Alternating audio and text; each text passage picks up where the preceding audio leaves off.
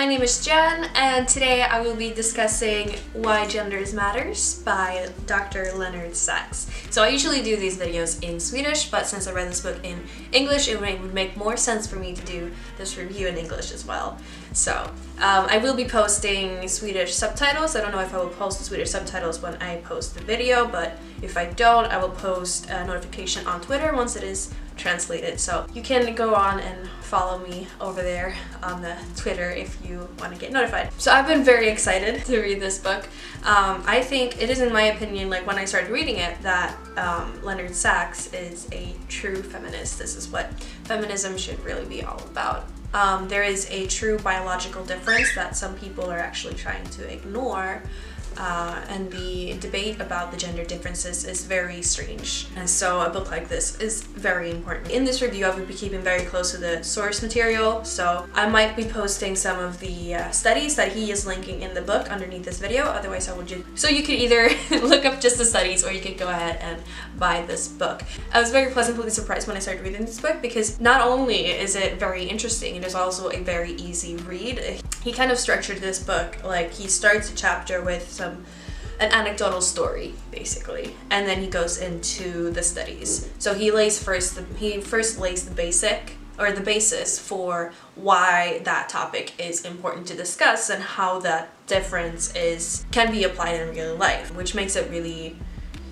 interesting and easily understood and the language he uses is very very good. So in the first chapter of this book he kind of goes into why he decided to write the book. Oh here let's let's let's let's let's discuss who Leonard Sax is. So Leonard Sax, MD, PhD, graduated P Phi Beta Kappa from the Massachusetts Institute of Technology, MIT at the age of 19 and then went on to the University of Pennsylvania where he learned both a PhD in psychology and an MD.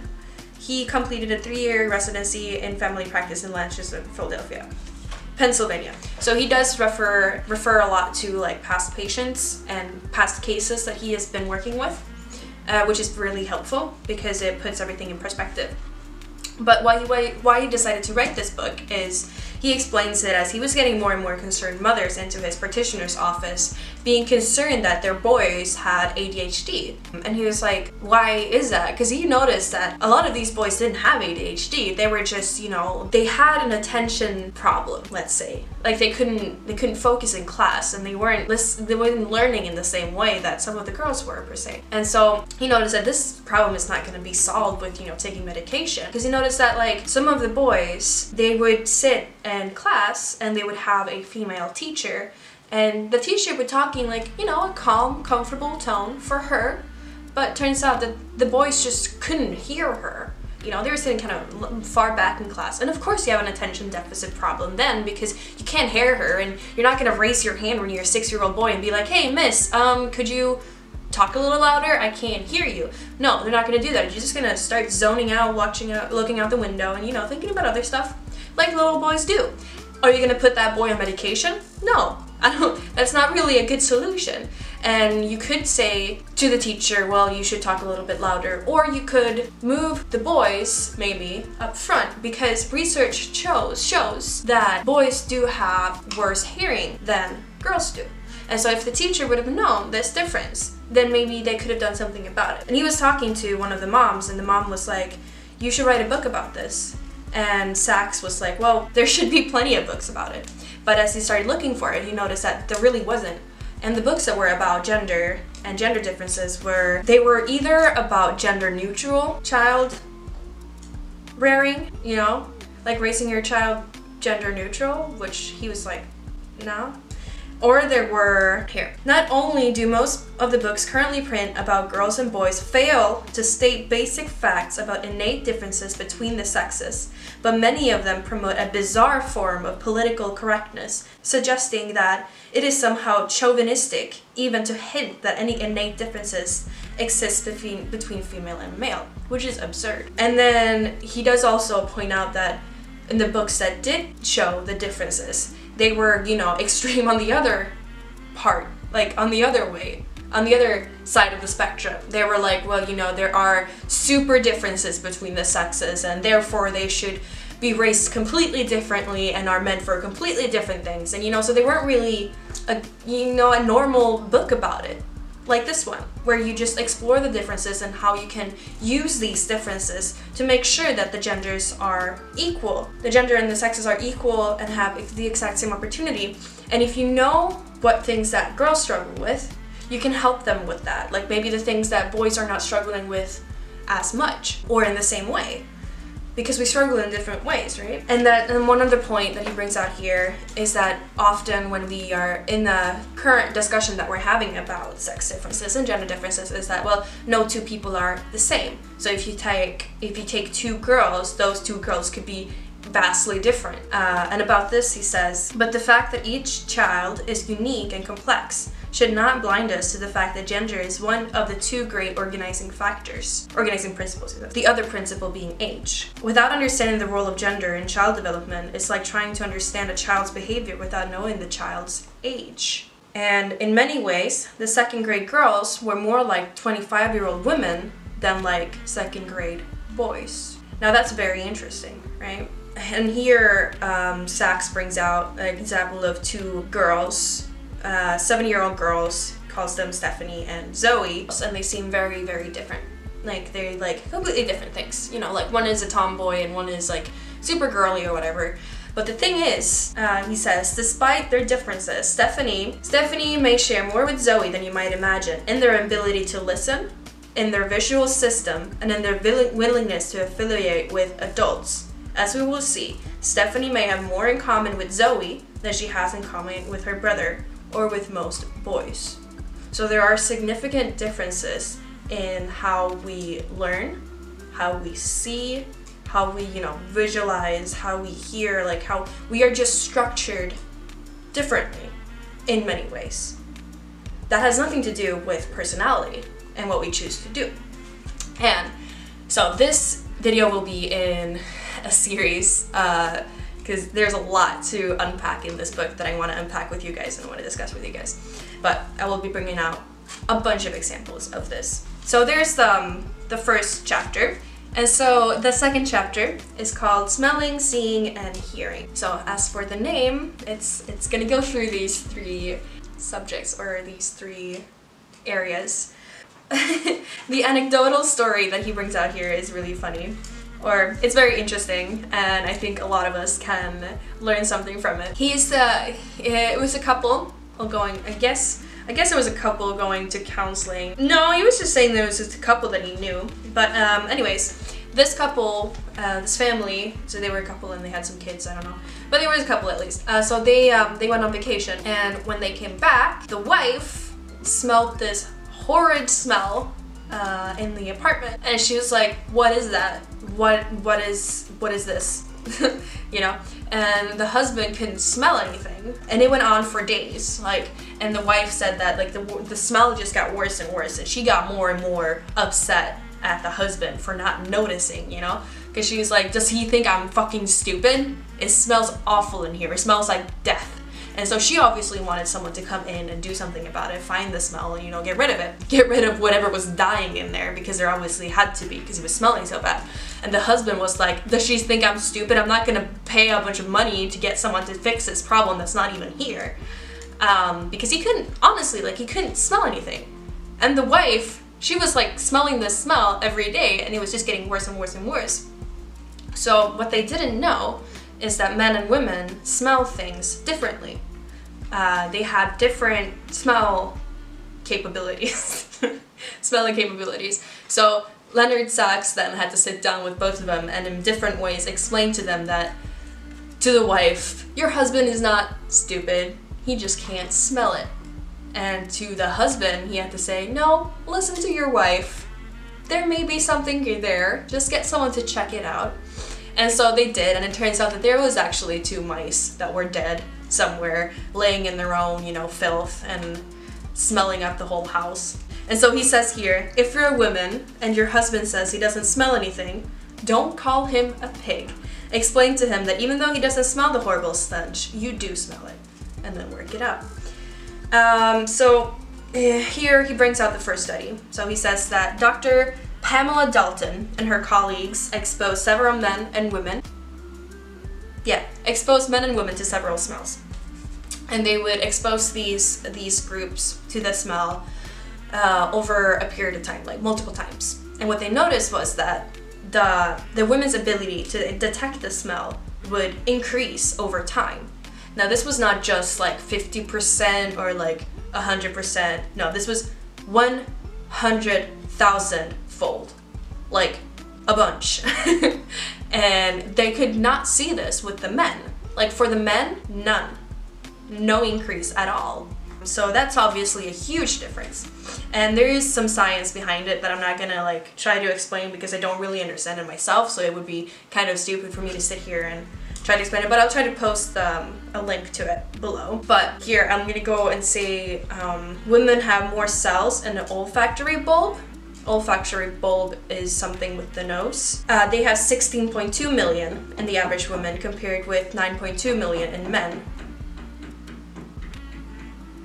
So that's obviously a difference. When you look at just the neurons in the olfactory bulb, the average woman has 6.9 million compared with just 3.5 million in men. When you look at the glial cells, women have, again, more. They have 9.3 million and the men have 5.7. So, guys hear that? Why do they always have like this? So, and here he brings out another example. He went to a all-girls school, uh, an all-boys school in New Zealand where it's Yes. Okay, so there were two schools. There was one school for boys and one school for girls. And so both of the schools had arranged a uh, optional curricular activity, which was ballroom dancing, where they would, the boys' school and the girls' school would come together and dance or whatever. But it turns out like the girls would just not show up. And people were obviously confused like why are you not like this is a fun thing. And it turns out that the girls were just saying that like the boys just smell so bad that they could not deal with it. They did not want to go because the boys just smelled bad. So first Leonard Sax talked to them and then he talked to the boys and he was like why are you guys not showering before? Do you guys not think you smell? And they were like no why should we shower? We don't smell. And so they just didn't know. And what you can do with this information is let's say that you have you're a mother and you have a uh, a son and you go into his room and it stinks in there what you should not do then is go in there and be like what is wrong with you kid? Clean your fucking room you know?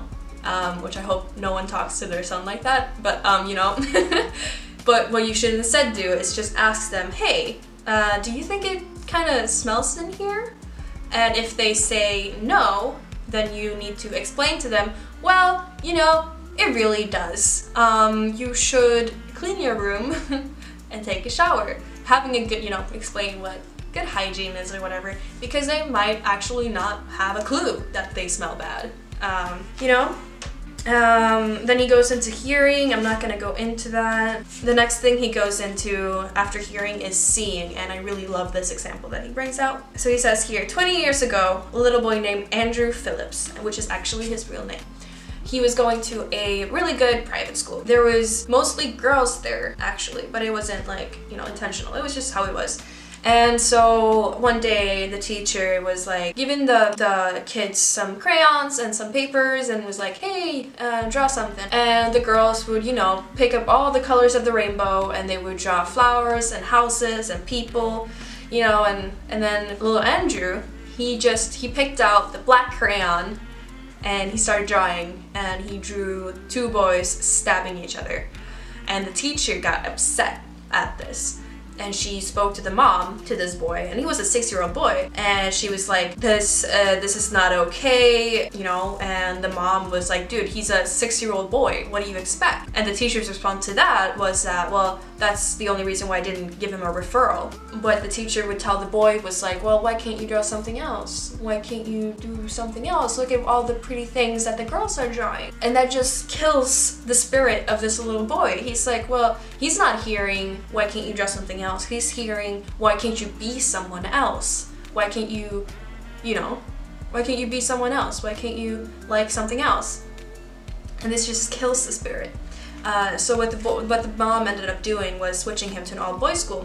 And their solution, they knew that boys were more likely to just draw action pictures, you know, Uh, what happens when you give girls and boys blank pieces of paper and a box of crayons and ask them to draw whatever they want to draw? Researchers who have conducted such studies consistently find that girls are more likely to draw flowers and trees and pets with lots of colors.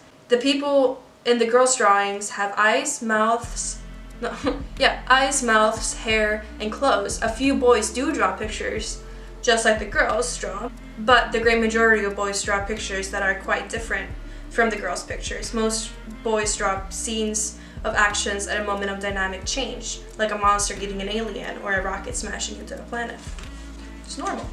So what happens when you tell these boys that that what they're doing is wrong or that they're not doing as good as the girls, so you know, you're just pointing at what the girls are doing and look at how, how good they are, like, why aren't you like that, is that it automatically gets them turned off to drawing, and this kind of feeds into the stereotype that drawing is a girl thing because the boys are not allowed to express their creativity in the way that they want to. So they just start thinking that drawing is for girls and not something that they can do, you know? Because they don't find it fun when they can't draw what they want to. The lack of awareness of gender differences has the unintended consequence of reinforcing gender stereotypes. While there may not be any innate differences in the ability to draw, I do think the evidence demonstrates the big difference in what kind of drawings girls and boys want to draw. Now, what we can do with this information is that instead of reprimanding the boys for drawing scenes of actions. We can instead remind teachers that the jobs of the teacher is to help the boy draw the picture he wants to draw and help him make it more vivid, more evocative of action.